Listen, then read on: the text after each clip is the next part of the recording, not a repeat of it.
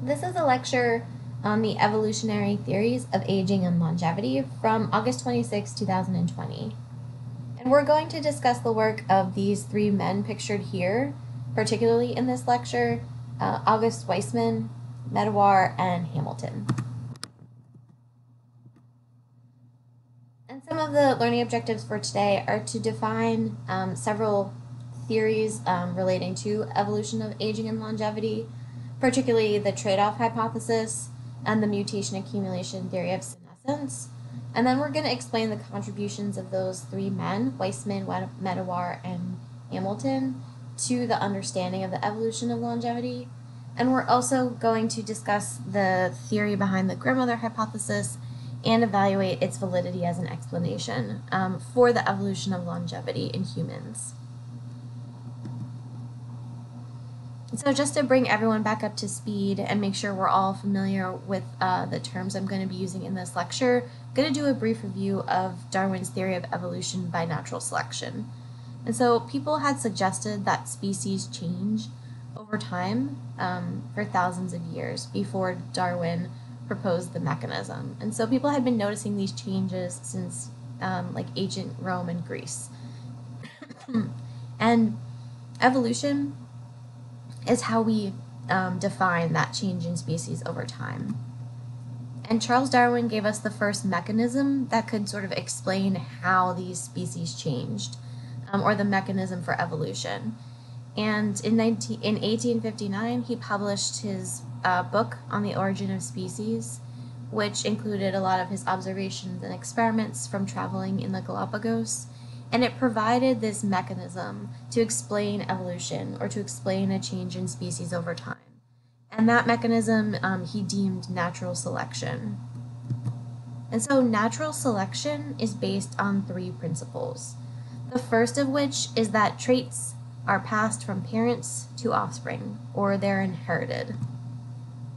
The second of these three principles is that there are more offspring produced by a parent than can survive in the environment.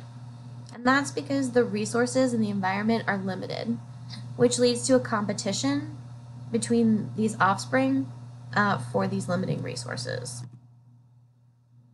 And the third principle is that offspring will have variation in the traits that they inherit. So these traits, which are passed from parents to offspring, are going to be different between different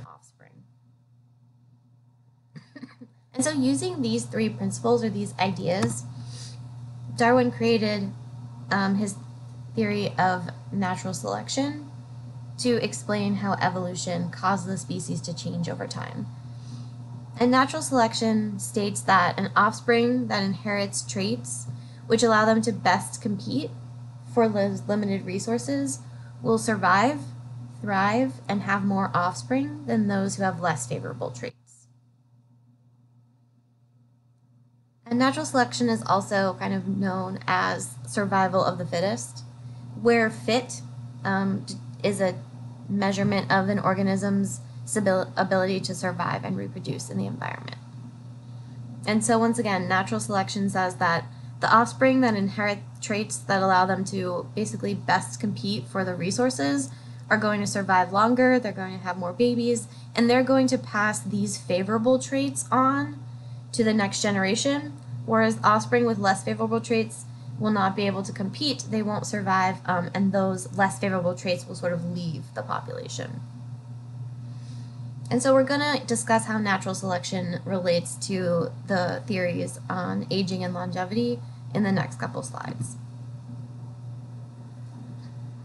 And so the first person that we're going to talk about who really theorized um, a little bit about the evolution of aging is a German scientist named um, August Weismann. And he lived in um, sort of the mid to late 1800s, from 1834 to 1819. And during his time, it was not clear how those inherited traits passed from parents to offspring were actually inherited. And so the theory at the time was that the somatic cells or the body cells passed everything on uh, directly to the progeny. And so if it happened to the parent cells or the body cells, it was going to be visible in the progeny as well. And so Weismann actually conducted an experiment to test this theory. And so, what Weismann did was he took mice um, and he cut their tails off, and then he allowed them to reproduce. And what we would have expected based on the original theory was that if you cut the mouse tails off, all of the progeny would have the same characteristics as the parents, and generation two would have had no tails. But what Weismann saw was that the progeny from generation two actually do have tails. And so, despite the fact that you cut those tails off of the body of the parents, all of the offspring were still able to make and grow a tail. So he repeated this experiment over a series of 22 generations. And every time he would cut the tails off of the parents and then allow them to mate and have progeny, and all of those offspring would have tails.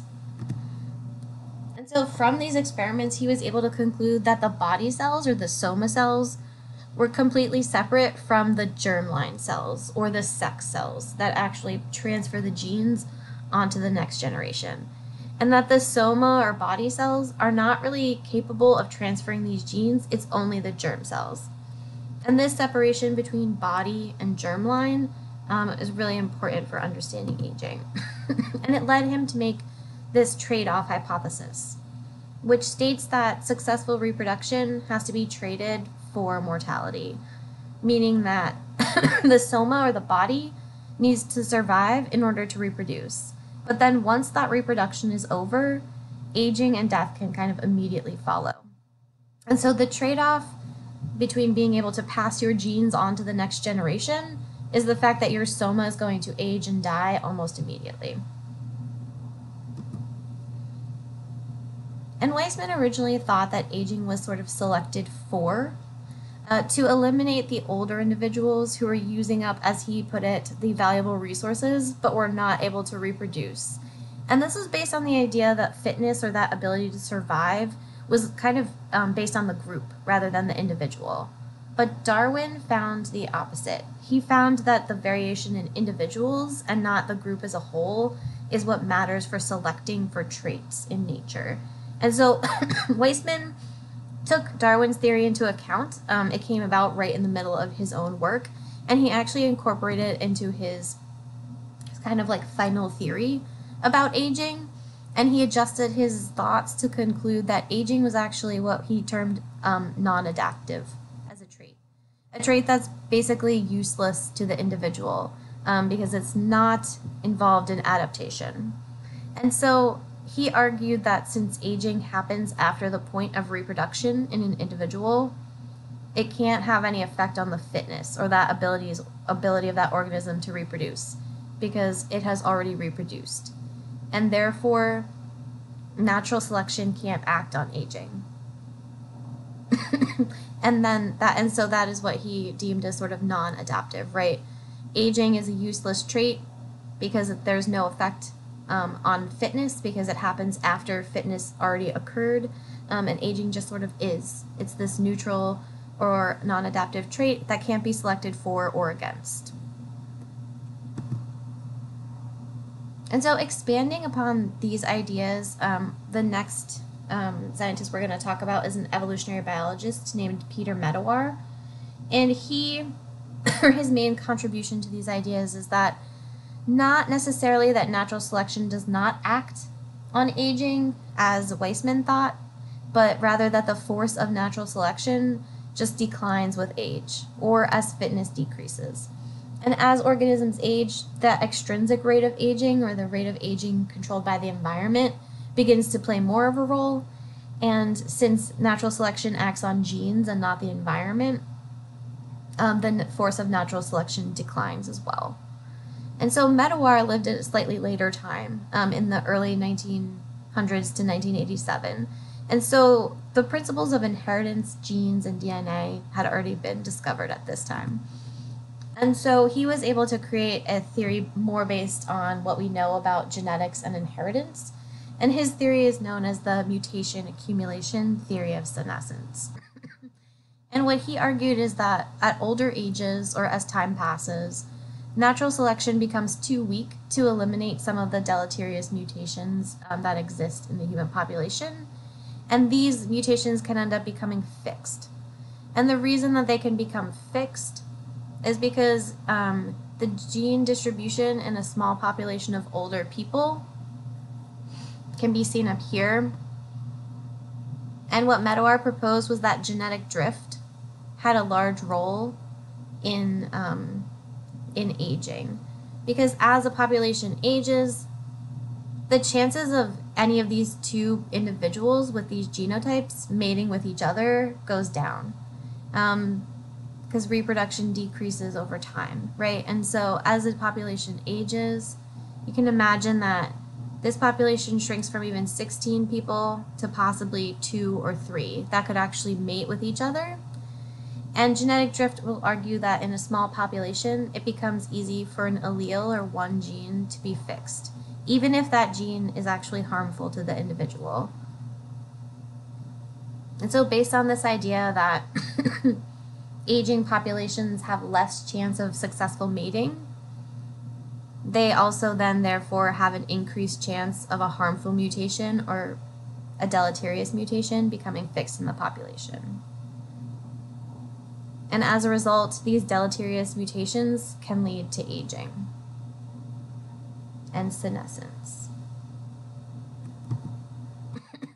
and in Medawar's time, there was this idea of genetic determinism, where every single event in biology has a gene that's regulating it. It's probably one gene, um, and it determines everything about that biological process. And therefore, one gene that exerts a really harmful effect probably wouldn't get passed to a subsequent generation, right? Because it would kill the organism before it had a chance to reproduce. And so, what Medawar theorized was going on with these genes involved in aging and longevity is that there wasn't one particular one with a very harmful or deleterious effect, but rather there was alleles or mutations in hundreds of thousands of different genes that all cause kind of a small, mild negative effect that, when added together, would contribute to what we see as aging. And so, in addition to proposing the mutation accumulation theory, um, where genetic drift can fix a harmful mutation in certain populations, and that harmful mutation leads to aging, he also argued that these harmful mutations weren't that bad, um, but rather that there was just many, many of them, which were sort of mildly negative, um, and all contributed to aging. And this was based on the idea of how Huntington's disease um, is propagated, which you can read about in your book.